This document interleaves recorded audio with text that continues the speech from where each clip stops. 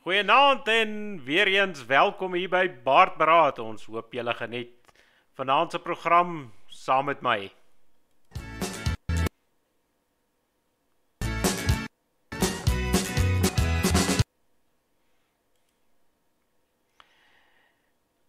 Sê baie welkom, soos ek al voorheen gesê het, julle gaan vanaand weer na my alleen moet luister.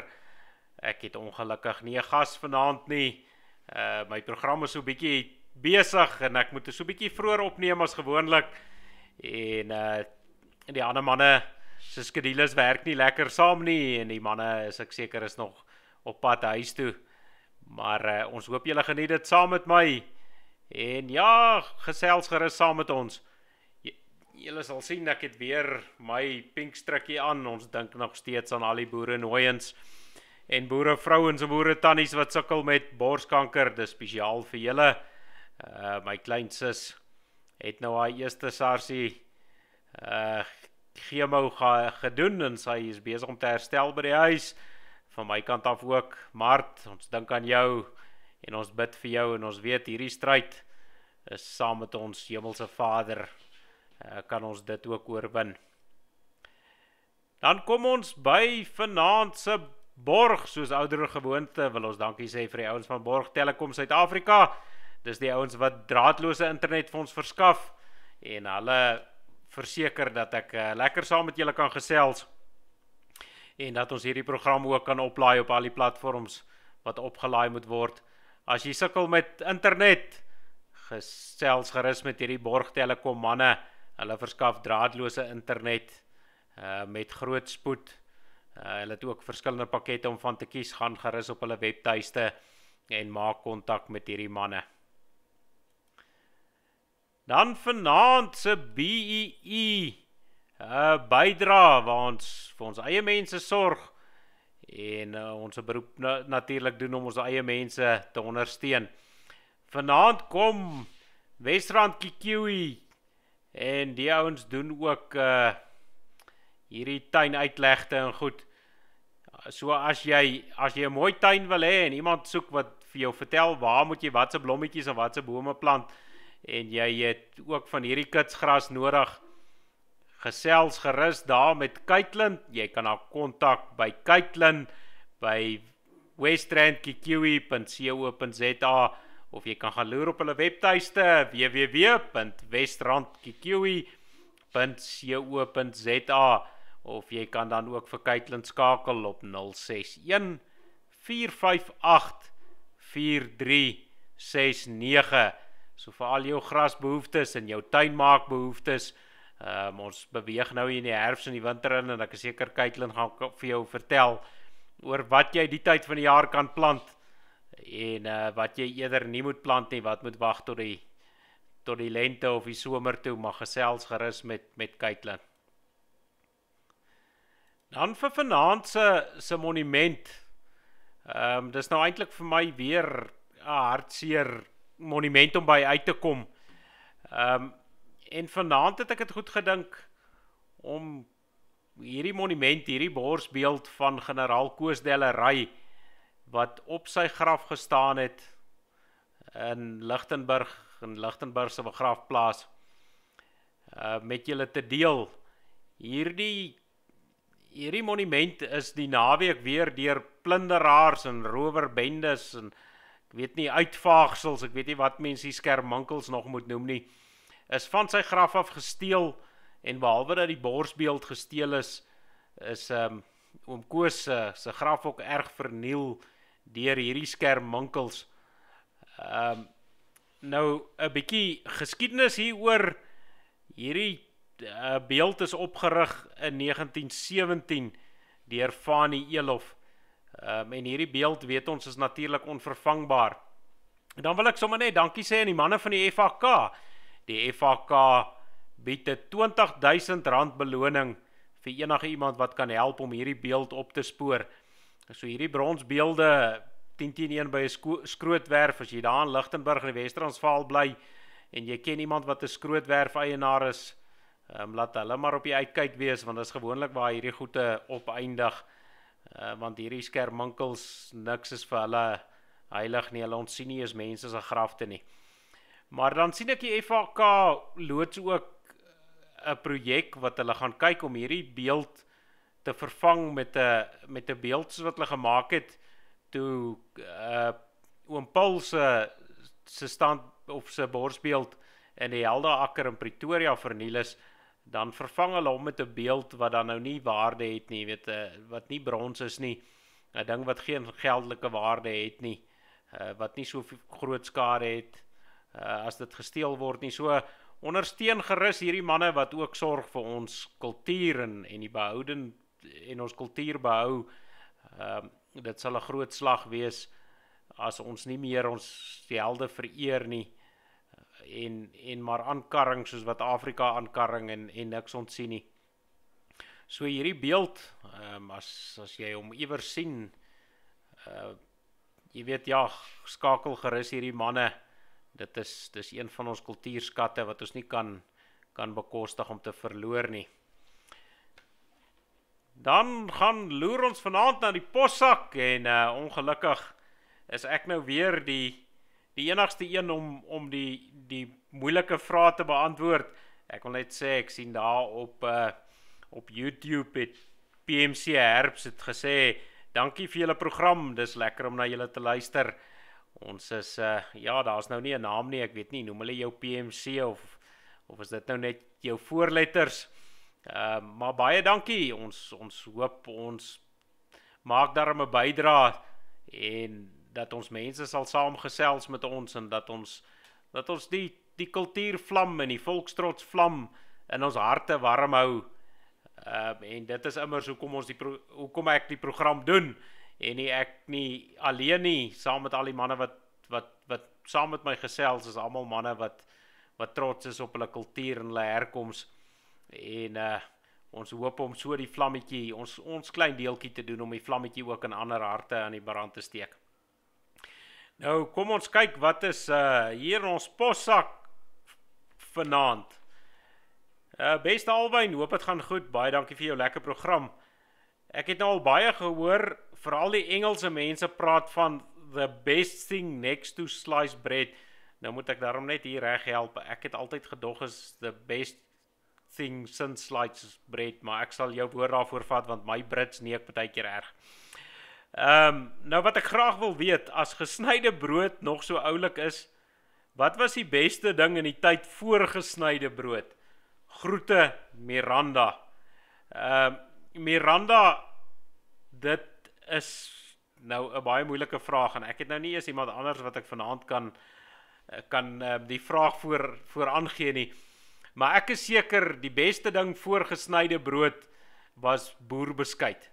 Ehm um, veral in ons kultuur. Ek weet nou nie wat het die Engelse gedoen nie, maar maar my antwoord sal wees die beste ding voor gesnyde brood is boerbeskuit en as jy brood lank genoeg hou dan proe dit amper soos beskuit. So ek ek is oortuig dit moet beskuit wees en ehm um, natuurlik gaan beskuit saam met 'n lekker koppie koffie.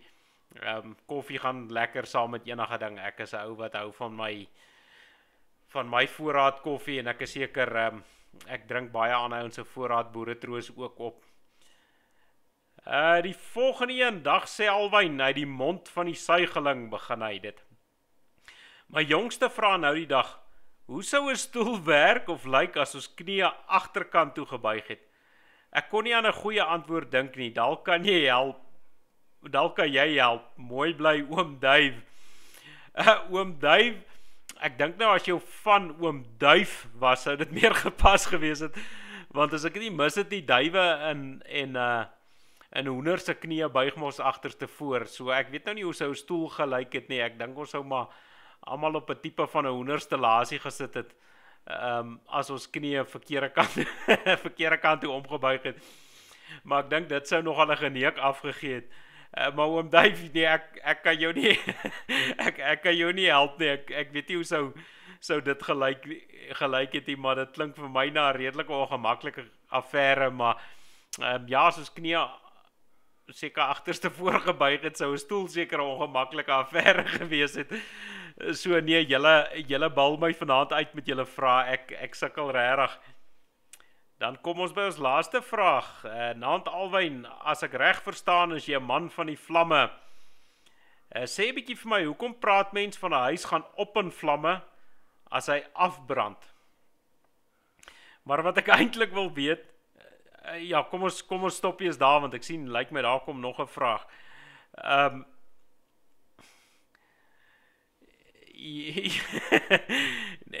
ek ek dink dis 'n vraag wat ons eerder vir 'n Afrikaanse onderwyser moet vra en nie vir 'n brandweerman nie. Ehm um, ja, ek dink is omdat vlamme na boontoe gaan. As mens van vlamme praat, gaan vlamme op. Maar uh, nadat die vlamme opgegaan het, het dit alles afgebrand. Want dan bly daar niks oor nie. Ek dink dit is seker hoekom ons daarvan praat. Ehm um, dis nou my beste raai. Maar wat ek eintlik wil weet, neem mens 'n ander mens op of af met 'n video. Met 'n foto neem mens iemand af. 'n Klankopname neem jy op. So nou is dit tegnies klomp fotos met klank. So neem jy nou op of af. Mooi bly Hugo. Uh Hugo, ek het nou juis gesê ek ek maak nou 'n opname, ek neem op. So ek neem aan hierdie video affære kom seker maar van die klank af waar ons praat van uh van jy neem op. So ek dink die regste die regte benaming is jy neem op. Ehm um, alhoewel jy met 'n kamera iets afneem, is hierdie prentjies wat beweeg is anders. Dit dit dit dit moet opgeneem word. Uh maar ja, nee, julle manne het my nou uh en en dames het my nou al hierdie moeilike vrae gevra. Ehm um, so ek hoop ek gee die regte antwoorde. Kom ons gaan dan uit uh en ons kom by vanaand se besprekings. Nou die eerste ding wat ek vanaand wil bespreek is natuurlik oor gebeure wat vars in die nuus is en nie, nie net hier by ons nie, maar ek wil so 'n bietjie 'n lyn trek na wat gebeur het. Ekskuus, ek wil net my notas hier oopmaak dat ek daarom um, as ek by manne se name kom nie te veel jok nie. Ek dink die hele wêreld is is be, bewus van hierdie Derek Chauvin, dis nou daai polisman wat op daai skerminkel in Amerika wat so vrot van die gom sny was. Ehm um, weet dat hy so baie gom gesnyf dat dat dit blykbaar 'n perd kon doodmaak. Maar sy hofsaak het nou gister tot 'n einde gekom. Ehm um, en ek sien vandag in die nuus dat ehm um, hierdie hierdie polisiebeampte of wat dan voorheen 'n polisiebeampte was, Derek Chauvin is nou eh, skuldig bevind op uh op aanklagte van moord tweede en derde graadse moord. Ek weet nou nie hoe lekker werk die Amerikaanse regstelsel nie. Hulle werk, werk so bietjie anders as ons. Maar wat vir my interessant was is dat daar's 'n demokratiese politikus in Amerika ehm um, uh, nogal 'n redelike prominente een en hy so oud soos water Maxine Waters. Ehm um, dis seker waar sy af van vanaf kry om sy so oud soos water is. Maar sy het nogal redelik so 'n paar dae voor die voor hierdie uitspraak het sy by 'n brand en plunder sessie uh ook bekend as 'n optog uh jy weet het sy gesê die mense moet die strate invaar en as daar nie 'n klag van moord die ou op skuldig bevind word nie dan moet hierdie mense meer drasties optree um en hulle moet meer uh konfrontasie uitlok en weet so sy het sy die teelaarde voorberei dit as hierdie ou onskuldig bevind is dat Amerika sal brand en dat die plekke veral waar dit gebeur het in in Minnesota dat hierdie plek sal afbrand en hierdie goed sal dan vir dae en jare en tot hoe ver in die toekoms aangaan as as die gespuis in die Engelse praat van 'n mop jy weet so hierdie gespuis as hulle nie hulle sin kry met hierdie uitslag nie dan gaan hulle onskuldige mense se goed afbrand en besighede plunder en en almal verontrie wat niks met hierdie saak uit te waai het nie. Ehm um, nou wonder ek hoe groot invloed het hierdie uitsprake van haar gehad op die jury in Amerika. Ons weet hulle werk 'n bietjie anders as ons. Daai ouens werk in 'n jury stelsel. Uh jy weet daar's daar was selfs sprake as jy nou na die meer konservatiewe Amerikaanse media luister dat ehm um, hierdie ouens op die jury sal uh, se name en adresse sal uitgelek word as hierdie gespuis nie hulle sin kry nie. So die intimidasie faktor, as mens kyk na alles wat voorgelê is um ek dink nie die verdediging of die die ehm um, weet die die die vervolgingsgesag het verskriklike baie baie sterk sake nie, maar tog as mens kyk na die meriete van hierdie sake en ek is nou allermins 'n regsgeleerde en as ek nou luister na wat ander ouens sê wat die Amerikaanse regstelsel beter ken as ek, ehm um, is dit dit wat wat hulle op neerkom. Maar hoe groot rol het hierdie intimidasie tog gespeel? Weet die die lijkskouing het gewys dat hierdie ou genoeg ehm um, as ek sê gom gesnyf het, hulle het nou nog gesê wat se wat se dwelms hy in sy stelsel gehad het, maar dat die goed ehm um, jy weet maklik tot 'n tot sy dood toe kon lei. Hy het ook aan hartkwal gelei. Ehm um, daar's ook een of ander ding hulle daar praat van ek weet nie wat se delirium in Engels wat jy kry as jy nou te veel van hierdie gom gesnyf en hierdie dwelms gevat het. Ehm um, dan sukkel jy ook om asem te kry en hierdie ouens het probeer bewys en en dit is ook iets wat die uh, wat die ou by die lijkskouing gedoen het gesê die dokter dat al hierdie goeie rol kon gespeel het en dat hierdie ou lyk my maar op pad uit was. Die manier hoe hy opgetree het uh veral in die kar selfs voor hy op die teerpad uitgehaal is en hierdie ou op hom gekniel het, het hy klaar gekerm, hy kry nie asem nie en dit is een van van die goed wat gebeur as jy nou as jy nou te veel dwelms het en jy ly aan aan hierdie ding. Ehm um, en baie agter in die polisie motor was het hy gevra dat die polisie beamptes hom uithaal. En jy weet dit so dit was op sy versoek en as mens voor die tyd kyk, daar was natuurlik in die begin net 'n paar video's gedeel wat nou wys hoe op hierdie arme man gehurk word of arme man volgens die gespuis.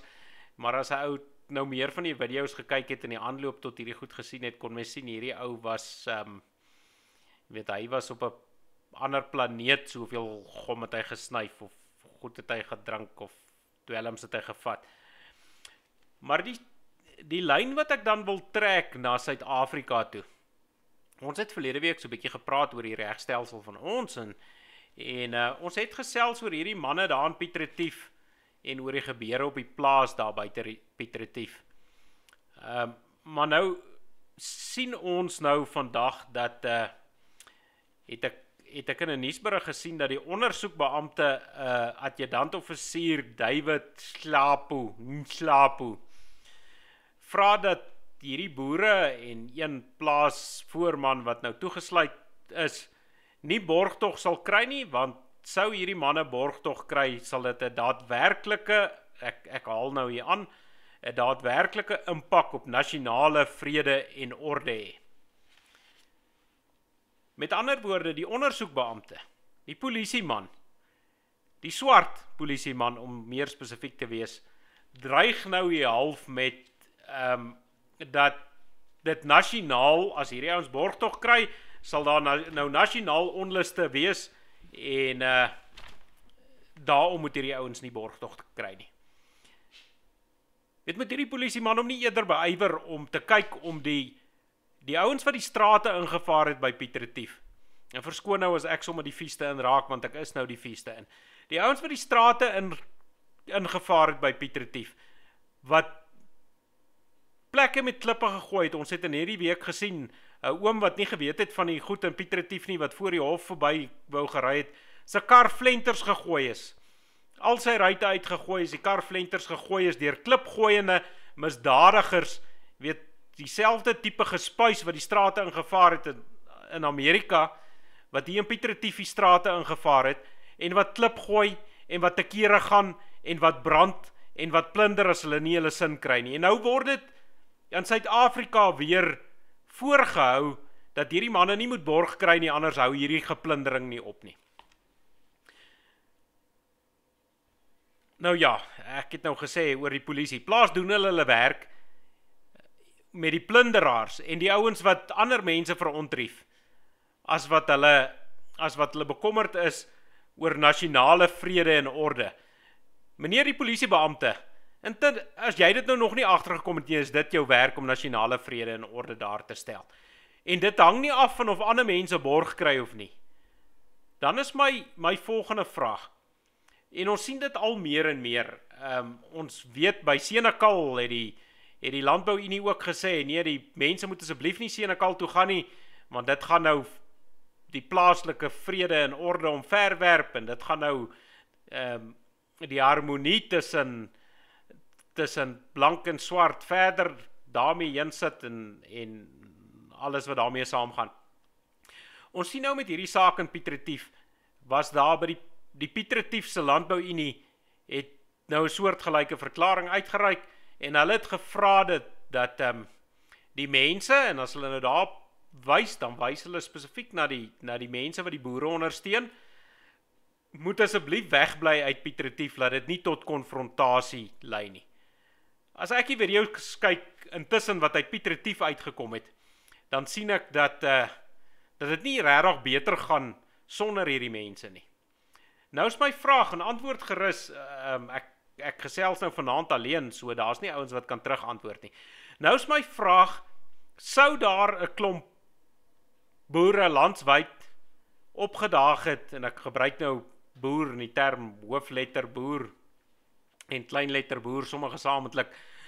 As daar nou 'n klompie bakkies by Pietretief opgedaag het. Is my vraag, sou hierdie lot klipgooiende klompie ehm um, teruggeïntimideer geword het en sou hulle opgehou het met hulle klip gooi? Of dink julle dit sou 'n vonk in die kruitvat gewees het? Dink julle dinge kon kan erger wees as wat dit op die oomblik by Pietretief is met hierdie spul wat wat brand en plunder ehm um, en te kere gaan soos wat hulle wil? Of dink julle daai ouens sou 'n bietjie teruggekom het in sy baan? As hy nou sien hier's net die polisie of dis nie net die polisie nie, hier's nou 'n klomp ander ouens ehm um, ook skielik by. My persoonlike ervaring van hierdie goed is dat hierdie ouens baie keer dan terugkom in hulle baan. Vir die polisie is hulle nie bang nie. Ons sien met onluste ehm um, en ons noem dit nou wat dit is en nie protesaksies nie. Met onluste landwyd het hierdie spul hulle vrees half vir die polisie verloor want hulle weet soos in Amerika as enige polisie man iets te erg doen dan ry hy aan die pen. Maar waar daar 'n klomp boere bymekaar kom en hulle weet hierdie boere is nou minder uh, gekniehalter as die die polisie deur hulle ehm um, hulle opperknegte in die regering dan kom hierdie ouens baie keer terug in hulle baan want hy weet ehm um, die die uh, kanse dat hy sy ore kan brand is skielik baie groter as wat dit is as wat net die polisie daar is. So laat weet 'n bietjie wat is julle gevoel hieroor en wat wat dink julle is ek nou ehm um, heel uit my eie baan uit lees ek die situasie verkeerd? Ehm um, moet ons hierdie goed maar net moet ons moet ons gaan gaan soos klein hondjies op ons ruggies gaan lê en ons magies nat piepie elke keer as so iets gebeur want ons is bang vir konfrontasie terwyl daar alreeds konfrontasie is. Terwyl die lotte wat die konfrontasie uitlok nie minder ehm uh, met minder konfrontasie optree nie. Waar al onskuldige ouens se voertuie met klippe gooi. Ehm um, dink julle ons of ja, dink julle ons moet was dit die regte besluit deur die land, landbouunie om te vra dat mense moet wegbly? En vir hoe lank dink julle nog moet ons dit doen? Vir hoe lank moet ons nog maar terugsit en ehm um, ter wille van vrede wat daar in 'n geval dan nie is nie, maar moet terug staan of of is dit tyd dat ons 'n bietjie moet rugstyf maak? Ehm um, soos ek sê, julle is baie welkom met, om met my te verskil en vir my te sê hoekom julle met my verskil en as julle met my saamstem, laat weet gerus ook ehm um, om te kyk of ek nie hierdie situasie uh heel verkeerd lees nie. Uh, dan hoop ek nou nie die die uh, die regter in hierdie saak luister nou na hierdie ondersoekbeampte en gee hierdie boere in die borg nie ons as ons nou die goed sien sien ons baie van die boere een van die boere was nie eens meer op die plaas toe hierdie twee terroriste geskiet is nie en ehm uh, hoe meer hierdie storie vorendag kom hoe meer sien ons dat hierdie boere wel uit selfverdediging opgetree het en om hulle eie belange te beskerm. Ons sien nou natuurlik van die ander kant af die terroriste wat op die plaas toegesak het, word daar nou natuurlik baie baie ander stories uh, vertel en daar word nou ehm um, soos Afrika se manier is maar weer 'n ding gedraai om om uh dit te laat lyk asof hierdie ouens nou onskuldig daar op die plaas aangekom het met met pangas en met stokke en met pype. Ehm um, jy weet as mens mos met pangas en stokke en pype rondstap as jy mos op pad na 'n sonnaskool piknik toe. Ehm um, jy weet dis dis wat hulle vir ons wys maak. Ehm um, ek het nuus vir julle. Ons ons ons uh, boerafrikaners is ook van Afrika. En ons is al genoeg geslagte in Afrika om te weet hoe Afrika werk. Uh, en uh jy weet julle gaan ons nie vang met hierdie slappriem nie. Miskien is die Amerikaners naïef genoeg om te val vir julle stories. Uh maar ons het ons het al Afrika beleef. Ehm um, snaaks terwyl ek nou so 'n bietjie van die punt af ek dink ek het julle al vertel ek het so 'n klompie jare terug het ek in Afrika gewerk in in die Demokratiese Republiek van die Kongo. Uh wat nou nie regtig 'n republiek is nie en nie regtig demokraties is nie. Maar wat vir my snaak of wat vir my opvallend daar was is dat die die Kongolese het het gou agtergekom as jy 'n Suid-Afrikaner is. Ehm um, as jy 'n boerseun is en hulle het ons boerseuns anders behandel as wat hulle die ouens behandel het wat uit uh uit Europa uitkom. Hulle dadelik of hulle het baie gou besef met die klomp boerseuns wat wel daar gewerk het, is dat die boerseuns nie val vir dieselfde grappies as wat die wat die Amerikaners en die en die Europeërs voorval nie. Ehm um, want ons ken Afrika, ons verstaan hoe Afrika werk. Ehm um, en dit ja, dit nou net so sy kant se opmerking. Dit was nogal vir my interessant geweest en ek is seker die manne wat saam met my daar gewerk het, die manne van julle wat na Baardberaad kyk, uh, Nandi en Tank en Hannes en uh, al julle manne laat weet gerus ehm um, of of jy, of dit julle julle gevoel ook was. Maar terwyl ons nou van plundering praat, praat in plekke wat gebrand word, ehm um, wil ek so 'n bietjie stil staan by 'n brand wat uh, dit is nou natuurlik so so soos die ouens al seker agtergekom het is wat ek is 'n oud brandweerman en steeds nog in die brandbedryf.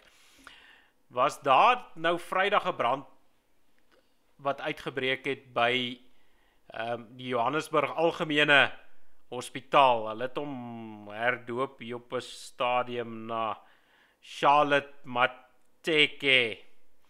Nou ek weet nie die ouens help my nou reg. Ek weet nie is daai beteken dit nou chariots of fire in Engels as as die hospitaal so brand. Ehm um, maar ek ek gaan nou maar praat van Johannesburg algemeen want dit was hoe hy al die jare bekend was.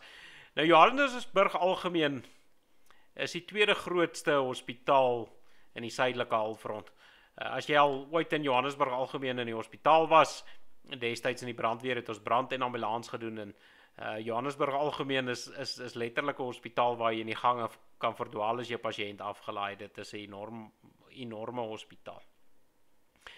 Maar een van die goed wat nou gebeur het en wat baie mense nie noodwendig weet nie. Um, baie het nou gesien die hospitaal het gebrand. Nou die brand het het omstreeks ehm um, half 12 die oggend op Vrydag uitgebreek en hier Vrydag aand toe die manne eers besluit dat dit nou tyd is om om die hospitaal te ontruim nadat uh, een van die offisiere van 'n privaat brandweer ons sal nou nou 'n bietjie by hulle kom uh, gesê het jy weet dis dis tyd om die hospitaal te ontruim. Een van die vloere se strukture uh lyk nie baie veilig nie.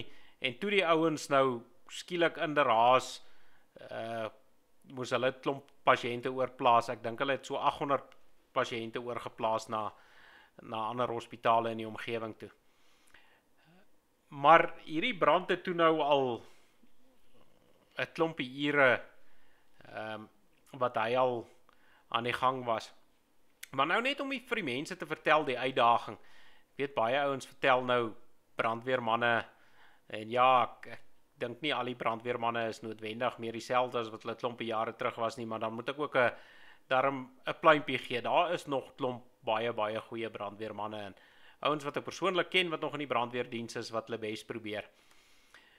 Maar van die uitdagings wat hierdie ouens gehad het, spruit nou natuurlik soos uh niks niets in in Suid-Afrika is nie spruit uit die politiek uit.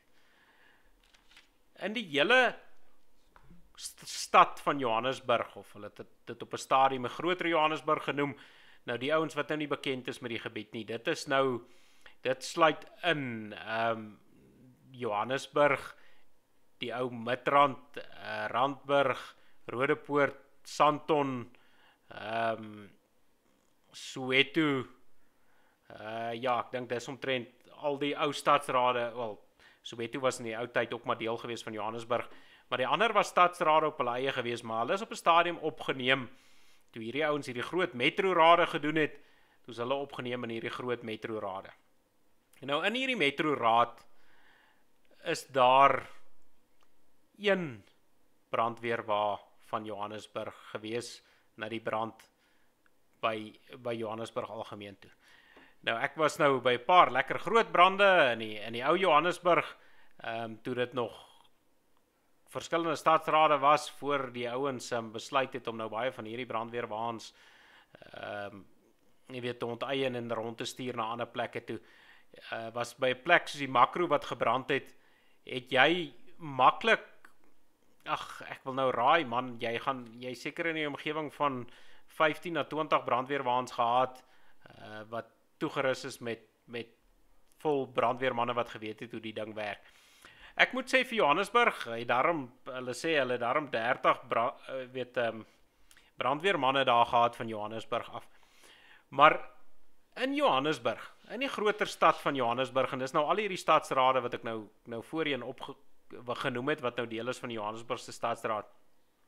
En daar's 30 brandweerstasies in Johannesburg. Nou op 'n goeie op 'n goeie dag het hulle tussen 4 en 7 werkende brandweerwaans in die stad van Johannesburg. Dis hoekom daar net een brandweerwa was wat na hierdie hospitaalbrand toe uitgedraai het. Ehm um, gelukkig het hulle hulp gekry van Pretoria. Ons weet nou Pretoria is 'n entjie verder en dan van die Oostrand ehm um, al die stadsrade wat daar saam in die Oostrand opgeneem is. Ek dink hulle noem hulle self nou Ekurhuleni. Ehm um, ek sal maar van die Oostrand praat. En dan verstaan ek daar was van die lughawe ook uh, brandweerwaans gewees. En ehm um, dan was daar drie kleiner brandweerwaans gewees van van Fire Ops Nou hierdie Fire Ops is nou 'n klein private brandweer wat hier in Johannesburg ontstaan het en wat hoofsaaklik in diens is van as ek dit reg verstaan, die manne daar kan ook kan my ook reg help, maar wat wat basiese diens lewer by sekere geboue in Johannesburg vir sekere versekeringsmaatskappye ehm um, jy weet wat wat sien dat hierdie brandweer in Johannesburg ten gronde gaan maar wat nog steeds hulle risiko wil beskerm. Nou as daar van 'n klein privaat brandweer weet kan letterlik 3 keer soveel voertuie na 'n uh, brand in Johannesburg toe gestuur kan word as wat deur die Johannesburg Stadsraad gestuur kan word. Dan moet jy nou weer eens laat in die dag. En ek wil vir die ouens, ek het so vinnig hier probeer bytel en ehm um, ja, ek weet daar's 'n paar ou Rodepoort brandweermanne wat wat luister na my. En julle kan my gerus reg help as ek nou hier verkeerd is. Ehm um, en as ek iets uitgelos het, ek het nou so vinnig probeer uh, tel hoeveel brandweerwaans het ons toe ek destyds in Rodepoort gewerk het en toe dit nog Rodepoort stadstraat was. Ehm um, voor dit nou voor ons in die groter Johannesburg opgeneem is. Was daar 3 brandweerwaans gewees. Ehm um, as ek nou sê brandweerwaans, ons het gepraat van pompe, 3 pompe, 3 3 voertuie wat vir struktuurbrande toegerus was wat ehm um, net struktuurbrandwere gedoen is en dit is dis nou net vir vir die ou Rodepoort. Dan was daar twee swaar diensvoertuie. Dit was hierdie groot Tatra ekstra swaar voertuie. Ehm um, hulle het kan ook ingespan word vir struktuurbrande, maar hulle het meer hou meer water as wat die 'n gewone brandweer wa hou. Ehm um, en hulle was vir alle handig gewees daar as, hy op die buitewyke en die en die klein hoewes en die plase en die goed moes uitkom waar daar nie brandkrane naby was net hierdie goed daarom 'n bietjie meer water gehad. Dan was daar een groot tanker wat net kon water aan karwei. Ehm um, dan was daar 'n hidroliese platform. Dit is nou ons het gepraat van 'n snorkel. Dis nou hierdie een van die lang goed wat jy kan gebruik om uh, mense hoogheid geboue uit uithaal en jy kan dit ook ook gebruik as 'n watertoring waar jy water ver van bo af moet spuit. Dan was daar 3 reddingsvoertuie en hierdie reddingsvoertuie was ook ten volle toegeruste brandweerwaans, maar hulle was hoofsaaklik gebruik in in in uh vir ongelukstonele. Hulle het nou daai toerusting gehad wat mens mense uit karre uitsny en al die goede, was daar 3 van hulle. Uh maar hulle kon ook in struktuurbrande gebruik word.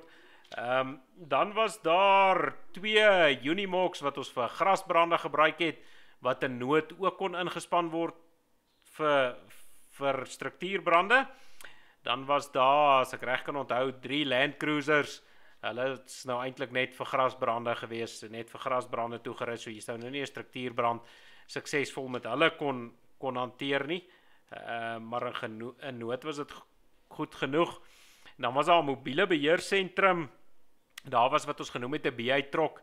Dit is nou 'n asemhalingsapparaat trok.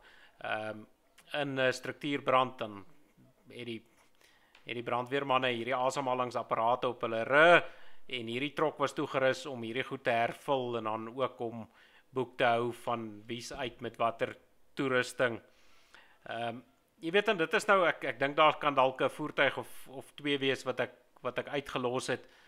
Ehm um, jy weet sonder nou die klomp ambulanse, dis nou net die brandbestrydings toerusting. Maar dit is wat in kom ons sê 25 jaar terug wat dan nou, jy weet ons weet tegnologie is veronderstel om te vorder, maar dit was die kapasiteit van een van die stadsrade gewees wat opgeneem is in die groter Johannesburg. Ehm um, en Rodepoort het op daardie stadium twee stasies gehad en nie 30 stasies nie. Ehm um, die manne wat in in Sandton was, hulle het omtrent dieselfde hoeveelheid voertuie gehad as Rodepoort gehad het. Uh, Midrand se brandweer was ook goed toegerus, Randburg se brandweer was ook goed toegerus en dan het jy nou die stasies in Johannesburg gehad wat ook elkeen meerdere brandweerwaans gehad het en en toerusting gehad het. So dis hoe dinge in 25 jaar al agteruit gegaan het. Maar van die goed wat ook gebeur het, een van die uitdagings was toe hierdie manne die eerste keer aankom, nou ehm um, vir die ouens wat nie weet nie, eh, 'n uh, brandweer waar het nie so 'n enorme klomp water nie. Jou gewone brandweer waar dra so tussen ehm uh, 2000 en 2500 liter water. Nou as jy met daai groot pype spuit, dan is dit letterlik net 'n paar minute se water. En toe hierdie ouens aankom op die toneel toe hulle hulle water gebruik en die eerste ding wat hy op 'n toneel doen as jy daar aankom is jy tel 'n brandkraan op vir die Engelse uh praat ons van 'n fire hydrant is nou in hierdie prentjie waar jy sien waar die honde gewoonlik 'n draai loop. Uh, maar dis waar die brandweer waans hulle water vandaan kry. Maar op die perseel van Johannesburg algemeen was daar nie een werkende brandkraan gewees nie. Die brandkraan het vir een of ander rede ek weet nie, hulle sê dit was nie dit het nie gewerk nie. Nou gewoonlik binne in die gebou in sulke groot geboue het jy nie net buite brandkrane nie. Ehm um, jy het binne die gebou ook brandkrane dat die ouens van van binnekant van die gebou ook brandkrane kan gebruik sou dit moet om die brand te blus wat dan nie noodwendig deur deur die voertuie bedien word nie. Maar hierdie ouens moes toe ry, hulle moes die water opspuit en toe moes hulle nou ry na ehm um, 'n brandkraan toe 'n paar blokke weg en weer gaan water volmaak en so het hulle op en af geneek um, om die brand te probeer bestry. Maar nou pleit almal natuurlik onnosel en dood en almal vertel nee, die brandkraan het nog goed gewerk. Um, die vorige keer en uh, niemand weet hoekom in die brandkrane nie gewerk nie. Hoekom is hierdie water buite werking? Maar dit is 'n sistemiese probleem, lyk like my maar in Afrika. Jy weet, uh, ons het destyds ook uh, ek het nou-nou van die baie voertuie gepraat in Johannesburg. Ons het 'n diensbakkie ook gehad. En ons het selfs 'n diensbakkie gehad wat slegs ehm um, toegewy was om seker te maak brandkrane werk in die area. Ondergrondse brandkrane het jy baie gekry en hierdie daar was een ou getaak elke dag om in hierdie bakkie te ry en hy moes ehm uh, brandkrane skoonmaak en hy moes seker maak die goed is nog behoorlik gemerk sodat die brandweer ordentlik kan sien waar's daar brandkrane. En dit is goed wat deesdae net nie meer gebeur nie. Onderhoud weet ons in Afrika is nie een van van Afrika se sterkpunte nie. En om die tweede grootste hospitaal in die suidelike halfrond nie werkende brandkrane te hê nie, dink ek iemand moet moet aangekla word van van grove nalatigheid. Ehm uh, jy weet dit dit moet tog iemand se se werk wees. Ons weet nou al hierdie groot ouens ehm um, en groot hospitale en groot geboue het tog iemand wat wat ehm um, in beheer is van van veiligheid ehm um, en en gesondheid hierdie veiligheids- en gesondheidsoffisiere en daai ons moet tog kyk dat dat hierdie goed in plek is. Hulle reken nou soos ek sê, nee, die laaste keer toe alles nog honkie dorie gewerk en al hierdie brandkrane was diensbaar en niemand weet nou waar is die water heen en wie die water toe gedraai of of wat het wat het van die water geword nie. Ek dink ehm um, ons en in teenstelling moet ek nou sê as ons sien daar ek wil dan 'n pleintjie uh, vir die ouens daar in die kolonie gee as ek nou sien daar hulle baba bergie wat nou gebrand het daar ehm um, ook hierdie naweek daar in Kaapstad dan sien ons daar was daar 'n klompie brandweer manne gewees met met ordentlike toerusting en ordentlike brandweerwaans wat uitgegaan het en ek dink daai ouens het 'n het ook 'n baie goeie werk gedoen in in baie uitdagende omstandighede. Ehm um, en as 'n ou die die die lyne kan trek in Johannesburg was daar nou al 'n paar keer tenders gewees waar ouens moes brandweerwaans verskaf en dan was daar nou weer soos maar met Afrika gaan korrupsie en ek weet nie wat alles verkeerd nie en dan is hierdie tenders teruggetrek en dan moet dit weer op tender uitgaan en so netjie spil aan nou al vir 'n klompie jare sonder dat dat die brandweer manne ordentlike voertuie kry. Ehm um, daar's blykbaar party brandweerstasies in in Johannesburg wat in jare lank nie 'n werkbare brandweerwaan hulle stasie gehad het nie. Ehm um, so dink net aan daai arme ouens ehm um, wat uitdagende werk het wat nie die toerusting het om sy werk te doen nie. Net die brandweer is 'n bietjie anders as as ander beroepe. Jy weet as jy nie as jy nie die toerusting het om jou werk te doen nie en die kapasiteit het om jou werk te doen nie. Ehm um, jy weet geboue kan weer gebou word. Ehm um, karre kan weer herstel word, karre kan vervang word. Mense lewens kan nie vervang word nie. En as daar mense doodgaan as gevolg van ouens wat wat nie die die regte toerusting het nie, is dit nie noodwendig daai ouens se toerusting nie. So hierdie is uit en uit lê ek voor die deur van die politici wat nie die ouens toerus om om hulle werk daar behore te kan doen nie. As jy in Johannesburg bly en die groter Johannesburg bly en dan uh, wil ek nou ook sê ek dink 'n paar ander stadsrade se name kan nou hier by noem en daar's 'n groot brand in jou omgewing uh dink ek jy moet maar baie bekommerd raak. Ek dink uh hierdie ouens wat die privaat brandweer begin het in Johannesburg, dink ek dit is 'n aksie wat maar kan onderneem word in ander stede en ander dorpe in die in die land ook.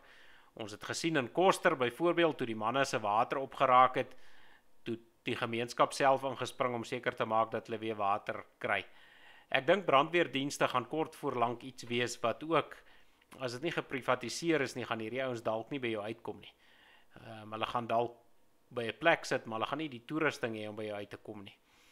Ehm um, so dit is iets as ons as ons bekommerd is oor mense lewens, is dit regtig iets waar ons gaan moet aan beplan en en waar ons ons gaan moet geld belê en tyd moet in belê om te verseker dat eh uh, dat ons na ons mense ook kyk en dat dat ons mense beskermd sal wees En dan vir al die manne in die nooddienste landwyd.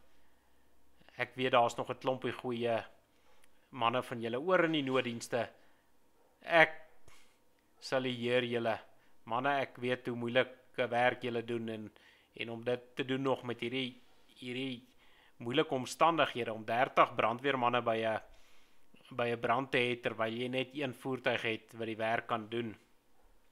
Ehm um, is is regtig uitdagende omstandighede. So ehm uh, ja, vir die brandweermanne ek haal regtig my hoed af vir julle. Ek ek ek weet wat die werk behels. Ek weet hoe moeilik dit is vir julle. Maar die politici sal moet begin saamspeel. Ons moet ophou politieke speletjies speel. Ons weet in Johannesburg was dit nou 'n pingpong spelery met ehm um, eers die ANC in beheer en toe die DA en 'n koalisie en toe nou weer die ANC en intussen met hierdie brandweervoertuig uh, fiasco wys die vingers die die ehm um, DA koalisie koalisie van destyds wys die vingers na die ANC, die ANC wys die vingers na ehm um, na die DA en hulle koalisie en so neek die ouens aan, maar intussen word die probleme nie opgelos nie. Ehm uh, so hou op om julle politieke ry te speel met mense lewens. Terwyl jy kyk wat kan jy steel en plunder terwyl jy in 'n politieke posisie sit, is daar mense wat doodgaan van die honger. Ehm um, en wat doodgaan in brande omdat jy politieke speletjies speel omdat jy net bekommerd is oor jou eie dik vet beursie en tenteen en ook agtersteewe en jy gee nie 'n duit om vir mense wat vir jou stem of wat jy probeer omkoop met 'n met 'n pakkie kos en 'n TM om vir jou te stem, gee jy nie 'n duit om nie.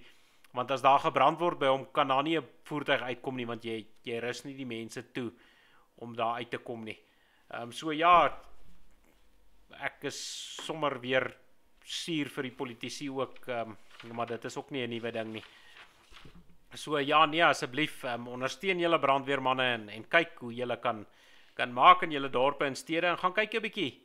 Ehm um, dit is nou hier uit Johannesburg uit wat gebeur, maar gaan kyk 'n bietjie hoe dit in jou stad of in jou dorp gaan en hoe toegerus is daai ouens. Ehm um, en nog ek weet daar's baie pype brandweere. Ek het ehm um, nou die dag by by 'n klein 'n kleiner plekkie Midwal.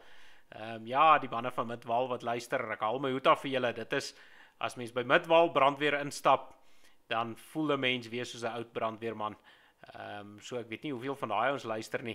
As jy daar luister, ehm um, dit dit maak mens trots om by julle stasie in te stap en mens kan sien as jy as mens by julle stasie instap, julle is ook trots brandweermanne.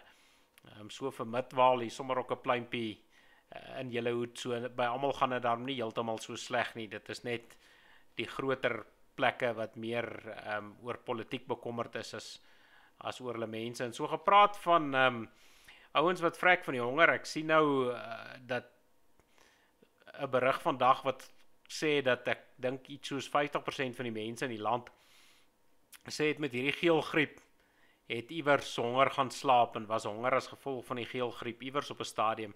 Ehm um, weens gebrek aan aan fondse, selfs ouens wat werke gehad het, ons weet almal wat werk het, het nie noodwendig ehm um, hulle vol salaris gekry nie. Uh, so hierdie inperking wat weer die politici nou natuurlik weer speletjies gespeel het met ander mense se lewens terwyl hulle nog lekker vet gevreet is by die trog ehm um, van belastingbetalers geld en self geen tekort gehad het nie.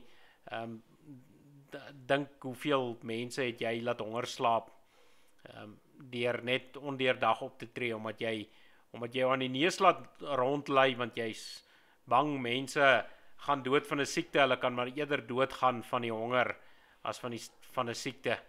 Ek dink ou is darm ek wil nou nie onsensitief klink nie, maar ek dink jy's daarom seker gouer bokvel toe. Ehm um, met uh, met 'n siek met daai siekte as wat jy is is wat jy uh vir 'n ruk lank nie eet nie of of laat jy naderhand so ondervoed raak dat jy dat jy omkom van die honger. Maar ja, kom ons um, kom ons kom 'n bietjie af van dit af en, en die volgende ding wil ek nou so 'n bietjie speel. Ehm um, Dis nou ou wat ek wil nou ek sien 'n verries, ek het iemand het vir my hierdie TikTok video aangestuur so ek wil nou sommer voor ek begin speel ehm um, net vir al die sensitiewe luisteraars sê ja, druk maar jou ore toe. Hierdie ou gebruik so nou en dan 'n bietjie 'n kras woordjie, maar ek dink nogal ehm um, dit wat hy te sê het kan ek nogal aanklank by vind. Kom ons luister wat sê wat sê ek sien hy sy TikTok naam is Verries iets ek neem aan hy's Werner. Ons praat nie altyd politiek nie, maar vandag gaan ons. En ek gaan nie eens lieg nie, my oom het my attent gemaak op hierdie enetjie. Onthou julle 'n rukkie terug toe word daar 'n krimineel deur die polisie vermoor in Amerika. En toe begin daai haatlike ding wat hulle BLM noem van Black Lives Matter en stede word afgebrand. Dis 'n fokop. Um ek ek meen dis die rede hoekom ek nie meer sport in Suid-Afrika kykie. En nou Hier op ons voorstoep, op ons eie kontinent waar julle almal gaan vakansie hou. O, dis so lekker in Mosambiek. Daar word nou honderde honderde swart mense vermoor. Hulle koppe word afgekap en word in die straat gelos, lyk soos 'n NG Kerk bazaar se skou, dat die wêreld dit kan sien. Maar niemand sê niks nie. Waar is die AB de Villiers en die Fransja Pinaar? Waar waar's julle nou? Julle met julle fucking swart armbandjies en op die knie staan en dis oomblikke van stilte en ek weet nie wat se kak alles nie. Hoekom is julle nou tube stil? Hoekom is julle nou tube stil? Maar 'n krimineel wat bewys is, hy's 'n krimineel. Hy gaan dood in polisie aanhouding of whatever. Ons almal ken die storie. En dis 'n volkop.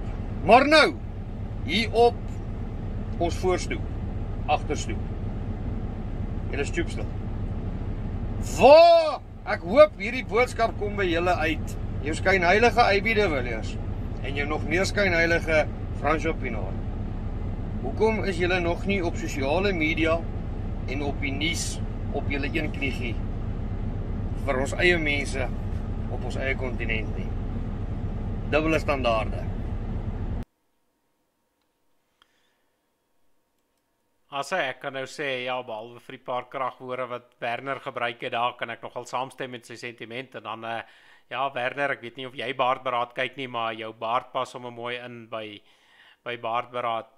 Uh, maar ek sien ons ons tyd stap aan so ek gaan nou nie noodwendig uitbrei nie. Ek dink ek dink uh, Werner het sy punt gemaak. Ehm uh, maar ja, antwoord sommer gerus wat jy van Werner se stelling dink. Ek dink hy vat dit nogal raak. Ek ek dink as mens hierdie hierdie BLM storie kyk, gaan dit meer oor ehm um, of minder oor die die swart lewens wat wat sogenaamd saak maak as 'n uh, jy weet wat gebeur word ek ek sien nou in Amerika juis is daar by die een plek 'n swart meisie van 7 jaar geskiet en hulle het om die kar iets soos 30 ehm um, doppies opgetel van die wapen wat afgevuur is Maar in die hoofstroom media van Amerika het jy bykans niks daarvan gehoor nie. Dit was weer 'n klein bruggie op 'n agterblad weggesteek want julle sal nou nie kan raai nie. Die ouetjie wat die misdaad gepleeg het is ehm um, is toe ook nie ook nie 'n ou wat ehm um, wat wit is nie. Dit was 'n swart ou wat die misdaad gepleeg het nou in Afrika en en ek dink dit is nou maar dieselfde wat, wat gebeur in in, in Mosambiek het ons nou gesien. En ons weet hoe lyk die ouens wat wat die ander mense vermoor het en ehm um, te kere gaan het. Is dit hoekom dit nie belangrik is nie? Is 'n is maak lewens net saak as 'n wit ou dit neem, maar uh, as 'n swart ou dit neem dan maak dit nie meer so baie saak nie. Wanneer maak lewens vir jou saak? Wanneer maak swart lewens vir jou saak? Ja, dis sommer 'n vraagie vir al daai knielers en agter bakse psigofantastiese gespuis wat net bekommerd is oor sy eie saak, maar kom ons sluit af met 'n lekker lag video. Ehm um, ek was vanaand hier op my eie net hopeloos te opgewerk gewees. Ons het hopeloos te min gelag. So kom ons sluit af. Nou ehm um, kyk iemand wat nou al geslag het en en wat wat lief is om om jou eie ding te doen. Ek sien hierdie ou het lyk like my 'n bosvark geskiet. Maar kyk met pelle soos hierdie, het hy ook nie vyande nodig nie.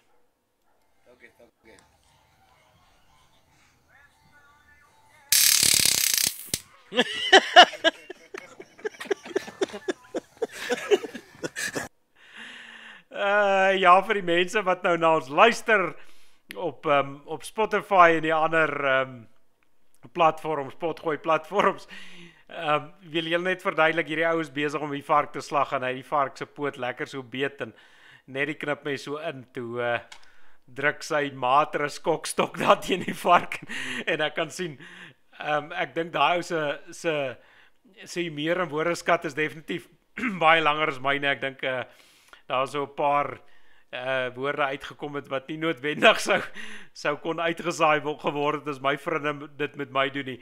En uh ja, my vriende wat dit met my doen, ehm um, somme by voorbaat wees gewaarsku, moenie sulke sulke goed probeer uh, trek as ek 'n mes in my hand het nie. Jy mag dalk meer geslag word as die vark. Nou op so 'n lekker lagende noot. Ehm um, dat ons daarom nie te depressief ingaan nie. Uh groet ek julle vir eers. Ek uh, is nogal opgewonde. Ek, ek sien een van my vriende sê ek spog. Nou laat ek nou sommer hierso op baardberaad ook spog. Ek gaan die lang naweek so bietjie draai daar by die manne in Orania. Ek gaan 'n bietjie kyk hoe dit in die Volksstaat gaan met die manne daar.